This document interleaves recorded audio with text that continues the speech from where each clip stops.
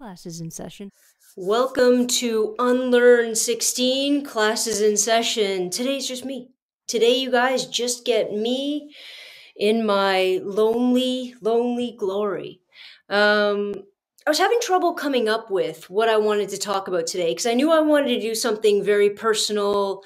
Um, and and I, guys, it's been a rough go. And um, the more that I share, you guys are like therapy for me. So thank you. I'll be sending each of you $150 uh, via Interac transfer in order for this therapy. But I think it's important. I think it's important for us, for me, to be able to put all of this stuff on the table so we can all sort of have this shared experience and draw from it what we need.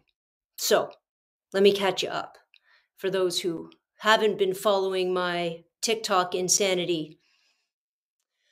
About a year ago, I would say a year ago in October, my mom, um, you know, obviously this amazing person in my life, and I'm going to get into those stories too, because I think those stories are important when I'm talking about this. But a year ago, my mom was diagnosed with bladder cancer. Um, now I got to go a little further back, and and here's why I got to go a little further back because my mom hates the doctors. Now there's some irony there. I understand. Uh, my mom was a nurse for like 50 years.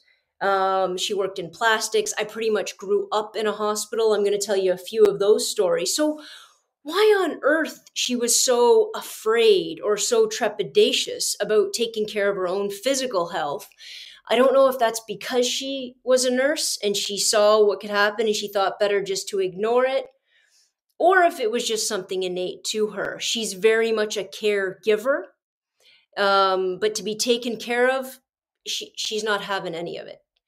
Um, so let me go back.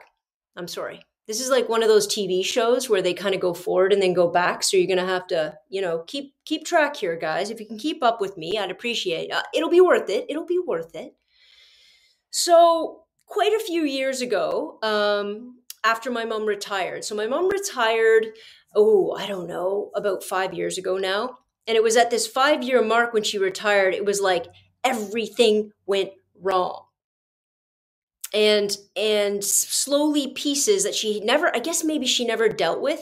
It's kind of like when you work for an exceptionally long period of time you never get sick and then you have a weekend yourself and all of a sudden you get slammed with a cold that you've never had I, th- I feel like it was kind of like that.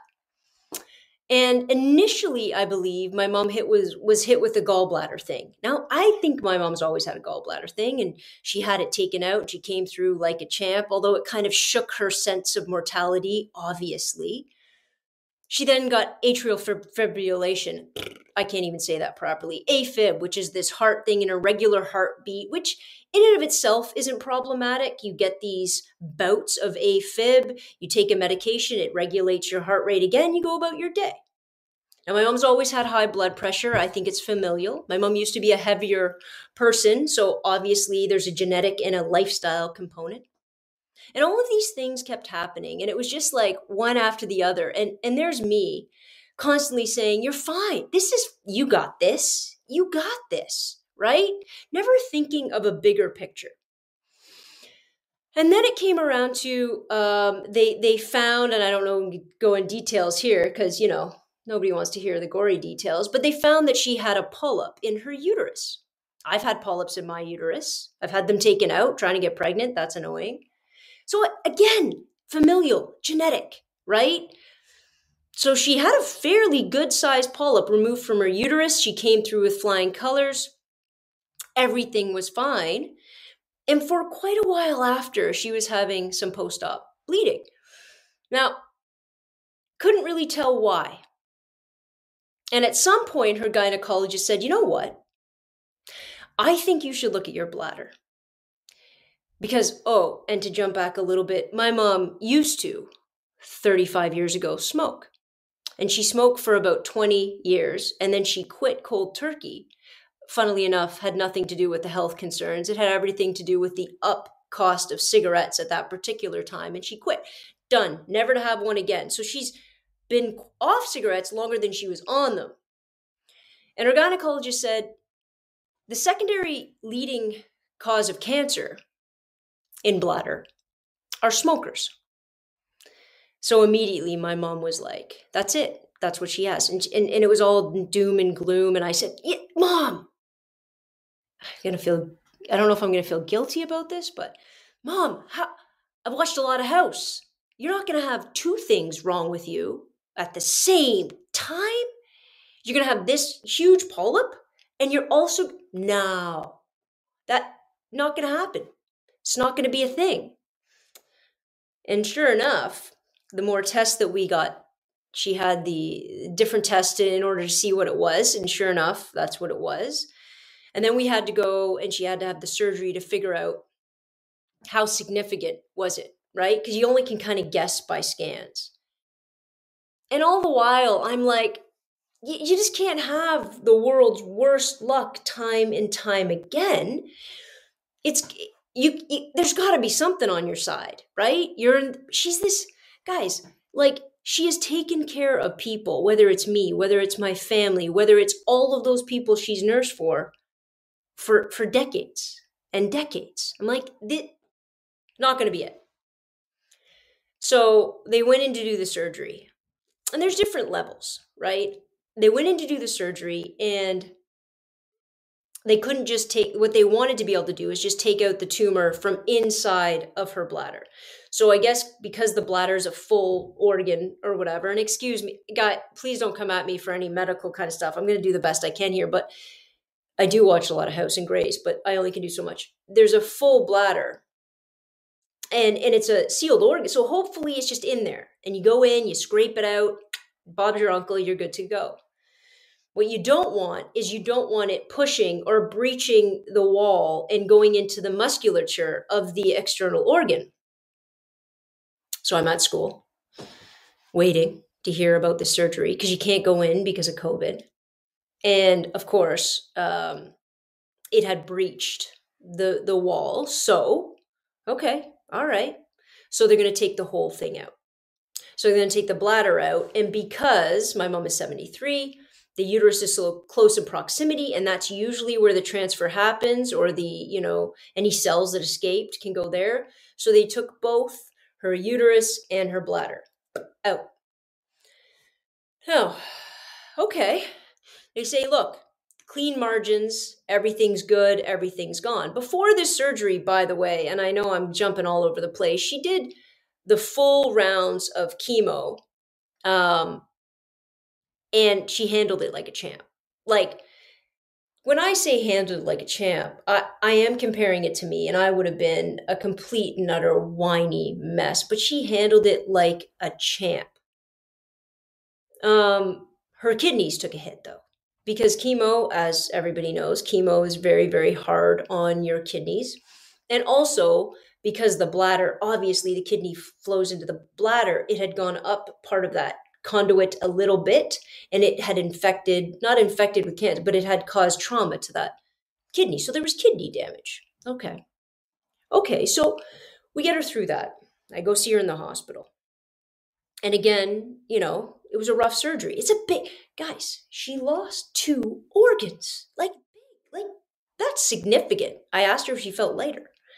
Anyways, so I go into the hospital and she's handling it like a champ. It's hard for her to get up, and it's it was a big it was a big incision, right? Belly button to pelvic bone kind of incision. Nothing laparoscopic there. And and I see her in the hospital and and I'm trying to like make sure that she's okay. I'm trying to bring her the right foods. I'm trying to, you know, do all of that that I can. And while she's in the hospital, which I think was an actual a significant aspect of this whole progress. She gets um, a very, very common GI infection. Now, I'm not going to talk about how angry I am that she got it. Yeah, I'm sure you can read my face. Nor how angry I am that it was probably left too long because they should have tested for it earlier. It's very contagious. It should be tested for very, you know, very quick after surgery but she got this and and this was this particular um, GI infection really did a number on her rehab, a number on her health, a number on everything, and even worse, a number on her kidney. So she in the hospital taking care of this, and they want her to come home. Well, she doesn't look like she's ready to come home, guys. But in a lot of our medical systems right now, and I and I'm saying part of a lot of this I'm saying because and I'm going to share with you because I think it's so incredibly important to self-advocate. And the problem is we, me, most of us don't know enough how to self-advocate, right? But here's what you do know. You do know how your person feels. So when my mom said, I'm not ready, I'm not ready to come home, I should have fought a little harder for that. But I, I was a bit selfish, right? I wanted her home. I thought I could take better care of her. I thought, I don't know what I thought. I don't know what I thought. But but my mom also hated in the hospital. So it, it was a hard balancing act. So I brought her home. And we brought her home. My uncle was here and I was taking care of the dog and he was here. And guys, she was so sick. And it looked so scary to me. And it looked so traumatic when she was in this house and she was still having some post-op bleeding which is a a little bit common. But i i she was afraid. And and that fear should have told me something a little bit more too. And we waited a few days. She was home for about a few days. And then i saw her and and she was she was afraid because it was a little bit more bleeding and i said we're going to go back.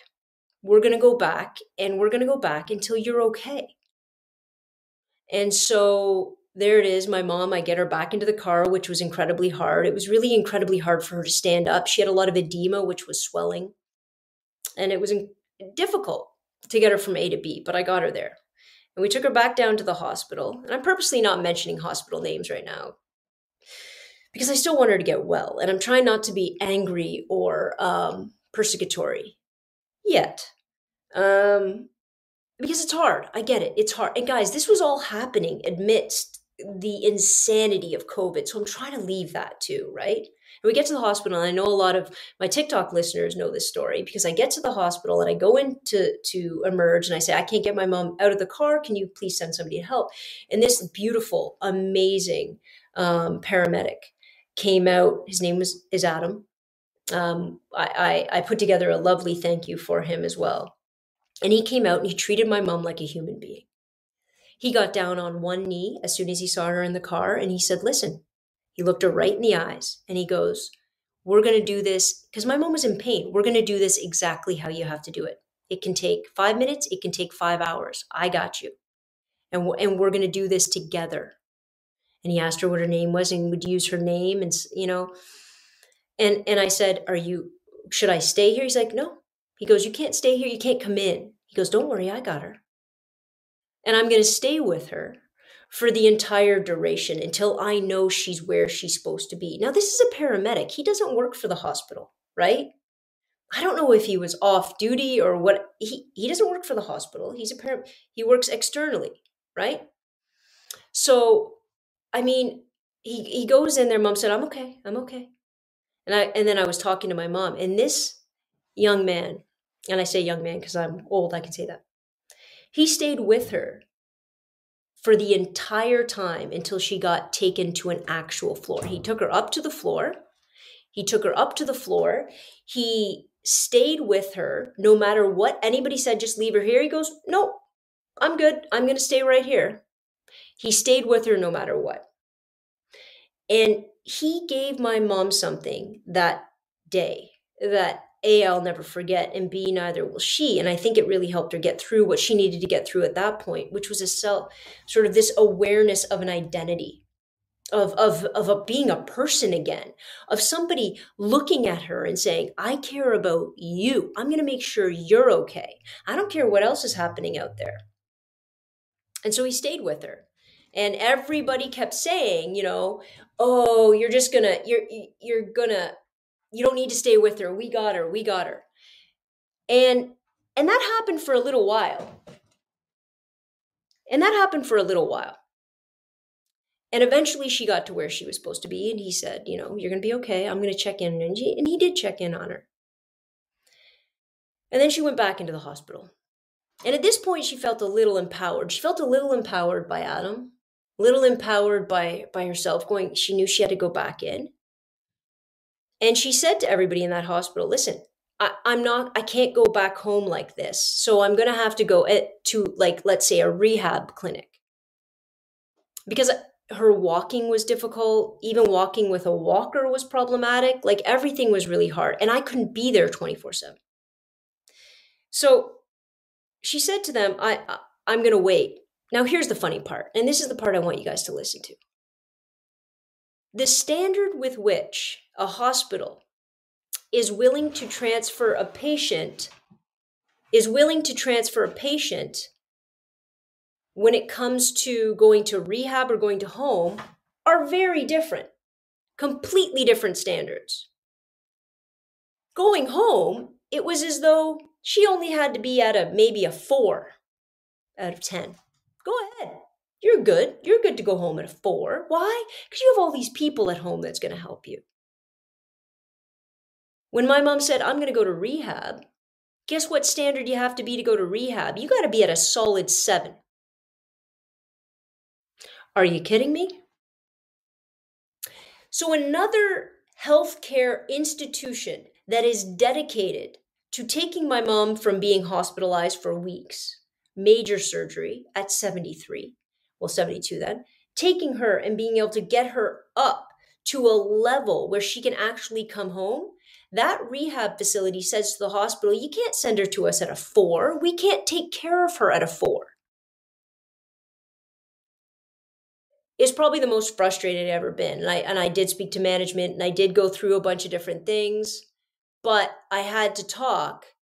Um, you know, I had to talk to those people and sort of assert where we stood here all the while stipulating, well, she's going to go to rehab. She was never going to rehab. I was never going to she wasn't going to rehab because I realized, oh my God, by the time you're good enough to go to rehab, mom, you can come home. Because then I can take care of you. Right? Because then you're at an eight. So I, I that part of our of our healthcare system that needs to change. That needs to change. You can't assume and you know i'm obviously younger to take care you can't assume that that person has those people when she goes or he goes home from the hospital after major surgery. It's all to save money by the way. By the way guys this is all about the bottom line. This is not about health care. It's about health business. And i'm in canada and I know the States is different on different levels. I know they have their problems. Absolutely. Do I believe in universal healthcare? Yes, but I believe in a fully funded healthcare model that doesn't send patient home early so they can get more sick and more scared and have a harder time of it. So my mom came home after all of that. And guys, it was a rough go.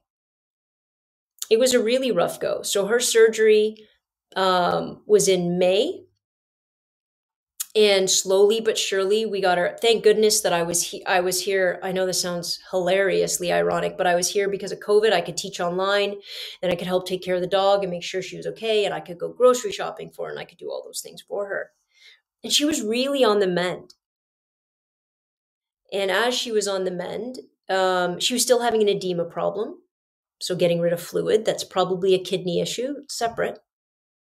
They said okay well we do scans right and as they were doing scans, they saw something little in her lung. They thought, it's nothing. Don't worry about it. No big deal. It's probably old infection. It's pro- it could be old COVID. It could be anything. We're going to leave it. We're going to watch it. So they watched it for months. And very recently, they said, okay, well, it got a bit bigger. So let's go. We're going to go in and do a biopsy. So they went in and did a biopsy and did tests on the biopsy, and it turns out to be a bladder cancer metastasis. Oh, I can't say that word. It it was spread. So her bladder cancer, which is also weird, but again, apparently it's where it goes. One of the first places that bladder cancer will metastasize to is the lung. I didn't know that. I feel like they should have known that a little bit they had tables of doctors looking at it on scans and saying, no, that's not what it is. It's not that at all. Don't worry about it. So now, you know, we get this news. Now, this news comes with a, a limit. and I know a lot of people are going through and have gone through. And the reason why I'm doing this is is for for me, 100%. 100% for me and it's also for everybody else who's listening and everybody else who's going through it or might go through it or or any position on that timeline um you know they sat us down and they said there's no we can't you can't have a cure now so before with the bladder removed there was a chance at a cure so now there's no cure okay now there's these possible options. Will we do surgery? Probably not. I don't know if that's because she's 73 or that's because of whatever, but probably not. It would be a big deal. We want to shrink the tumor. Okay. So she gives us a window, a window of, you know, I don't know if I even want to say it out loud, guys. You know what? I'm not. I'm not going to, I don't want to give it any more power than it already has. But they gave us a window which kind of stops you dead in your tracks, doesn't it? A prognosis, a timeline, an end game, it kind of stops you dead in your tracks and you just kind of go and and and this window doesn't include healthy years, right? This window can include X amount of healthy years and then a whole bunch of years of not. So we don't know. We don't know. So I had my moment, and I again people on TikTok really saw me have my moment because I didn't know where else to put it. This is a much more calm version of me. I had my moment of panic. What do I do? What do I do now? How do I how how do we play out? Because it, it was almost as though somebody gave me this this timeline and and then that's it. We're done. That's all I'm that's all I'm giving you. Have a nice day. And I I gave up. I, I looked at that timeline and thought, that's definitive. and I didn't know what else to do. Because then I'm like, do we go on trips? Do I quit school? Do I do I take a time off? Like, what do we do here? You know, and my mom was was up and down, but my mom's way stronger than me. Have I said that before? Leaps and bounds stronger than me. So we take this time and, and it doesn't it's not long and I pour my heart out on a TikTok. Now, some people would be like, oh, how dare you pour your heart out on something like that? I, I didn't get any actually hate because of it, but I'm sure some people might think it's opportunistic or it's whatever.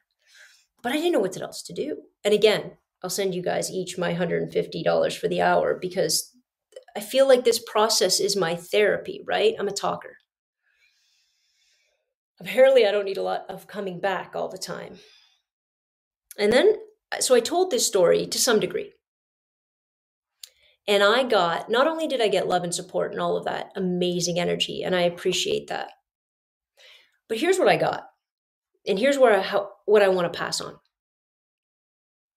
I got actual, uh, not even miracles. Because right now I'm, I'm betting on a miracle, right? They said X amount, I'm betting on a miracle. But these people are like, Joanna,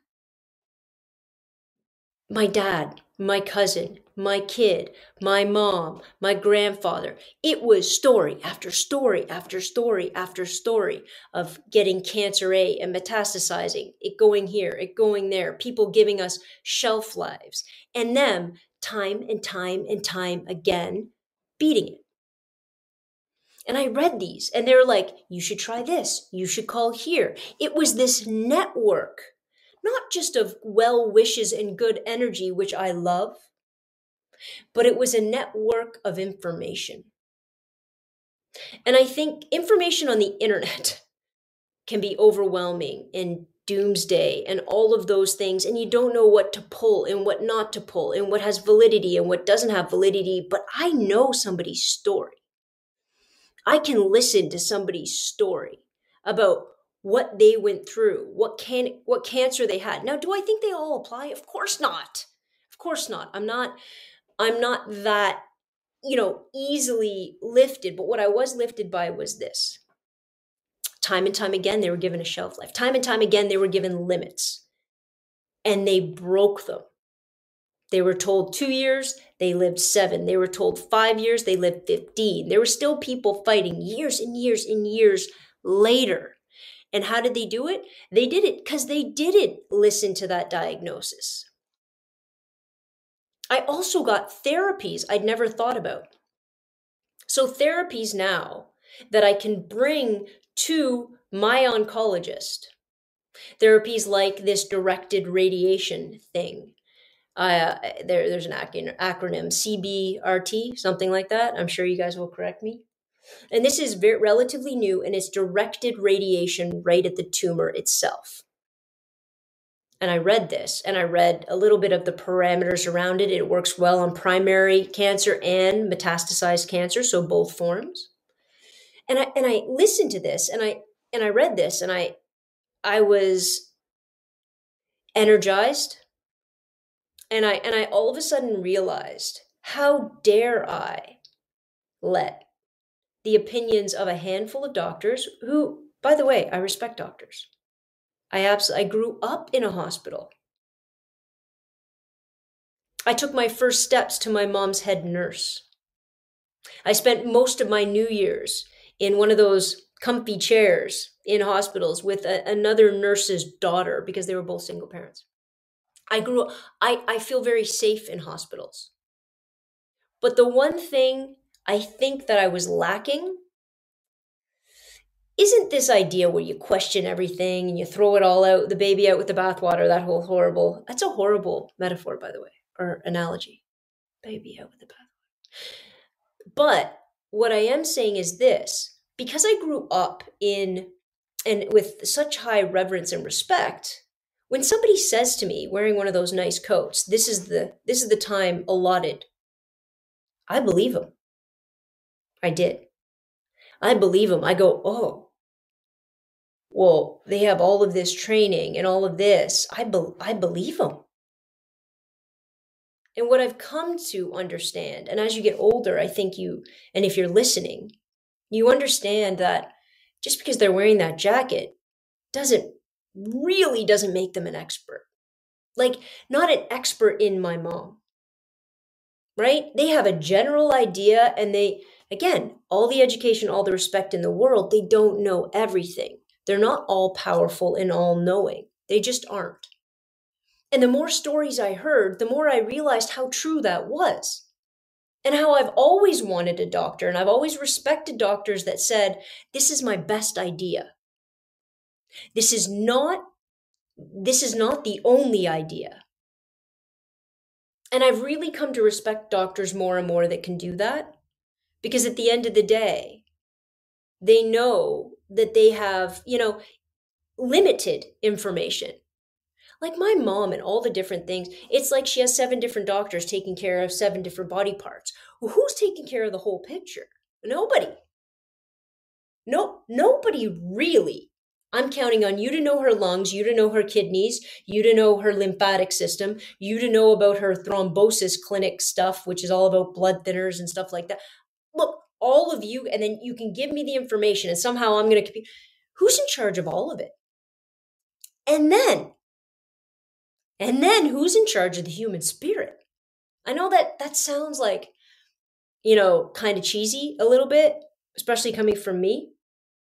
And I'm not talking religion and I'm not talking so I'm not talking any of I am talking about our sheer willpower and ability to bring things into existence that we deem vital. That positivity, that is, and everybody says it, a positive attitude, right? Everybody says it, but everybody underplays that. Because your mentality and your your belief system and what you think going in really does shape what you have getting out. And that happens in so many different ways, but especially when it comes to your health. So I listened. I listened to that. I really did. And and these the social media, people slam on social media for all sorts of reasons. Nah, to hell with that. To hell with that. Guys, I put out this panic and this fear and this desperation. You know, when I got you want to know what I got back? I got love back. And I got so many options. And I got my spirit back. I know uh, you guys are going to be like, Joanne, you sound ridiculous. Your spirit, what are you talking about? But I'm telling you, it was the most powerful thing. So I, I do that TikTok and then I get on to a live. Day after, kind of decompressed, pulled it together a little bit. And I started listening to people's stories on lives. And then who comes on my live? Rosie O'Donnell. Rosie O'Donnell pops on as a guest. If you guys have ever seen that, I immediately cry. I don't know. There's something maternal about her that makes me cry. She's very caretaking, right? And she gets on and she doesn't try to fix anything. She just listens. She's been through a lot herself. And if you know her story, you know exactly what I'm talking about. And, and she says a few things. She goes, It's there's no finality. No doctor has that final anything. Period. So don't you dare succumb to that. Number one. Number two, I know some people at Sloan Kettering. I know doctors. I'm going to give you their number. And when you need that second opinion or you need to go somewhere because this isn't good enough, I'm going to give you that connection. And number three, and this is an important one. I'll try to articulate the best I can. Sometimes, all the time, actually, we need to find a way to talk about death and about losing people we love and about the limits on our mortality and our lives and figure out a way to live with that knowledge, not in denial of it. We live in such denial of it. Me too. Me 100%. Not going to happen, not going to happen. Such denial of it. And accepting our mortality doesn't mean you're accepting those parameters. That's not what she was talking about. She was simply saying, we all get to be in this space, and I'm paraphrasing, we all get to be in this space with people that we love. And it's up to us to utilize that space to our best possible potential. We're all in rooms with people. Don't you dare waste a minute of it. And don't you dare think that by being with somebody at the end of that life is any less important or any less powerful or or or sometimes enjoyable, right? You're going to have moments of greatness in that time even if there is an end and by the way there's always an end. We just don't know when it's going to happen. You know? I talked to my mom about all of these and I showed her all of these messages and we we we talked about different treatments, we talked about Sloan Kettering, we talked about Rosie, and all of this stuff and I saw her energized. Does it change it? I don't know. I don't know. But I'll tell you what. It's this kind of energy that is powerful. That is a better way to live even if you know one day you're going to die because we all are. Does that sound dark? I feel like that sounds really dark. It's not meant to sound dark. You know, some of us get a long life, some of us get less of that. Some we some of us get to spend years and years and years with our loved ones, and some of us get to spend a handful of minutes. But it's what we do with that time that matters. So, you know, I thought about what am I going to do? What am I going to do with my mom? I got to do all the No, what I need to do with my mom is what I've always done enjoy life. Don't wait. We're not going to wait for something bad to happen. We are going to live when we feel good and we feel happy and healthy. We are going to live to our biggest potential, to our most powerful selves. We are going to show. My mom found all this out, right? We're down at the hospital downtown Toronto, and on the way home, because we were in a bit of shell shock, she looks at me and says, You know what? I really want that purse. And I said, What purse? She liked this purse at the bay. I said, Well, let's go get it. She goes, Really? I said, Yeah. Because it, what whatever was talked about there is not the this today's not the end. You know? And then we had some hard talks. We had some talks where, listen, tomorrow, anything could happen tomorrow. For good, for bad, for the ugly, anything can happen tomorrow. So we need to figure out how to be empowered today. So here's what I'm going to do I'm going to tell you guys what I'm going to do. Rosie might have given me a bit of a push to do this. For a long time, I've been wanting to write a book. My mom was a single parent, is a single parent. Um, and a lot of my stories, a lot of who I am, is because of her. Some of it's not, but she's been there for all of my stories all of the ups, the downs, the amazing things, the heartbreaks, the gut wrenching, everything. And I've always wanted to write that, especially just to give you a little heads up. My mom and my grandmother and I, because my parents got divorced young, we used to drive from Toronto to Florida every year from ages like three to 16, every year as a, as a vacation. And guys, I'm not going to tell you the stories, but the stories from those trips, hilarious. Absolutely hilarious. And they're all very poignant. And they all have such depth and such application when I look back on them. Just like the beginning of this podcast when I told you my why. My why is always going to come back to my mom, my family. And I think that's powerful.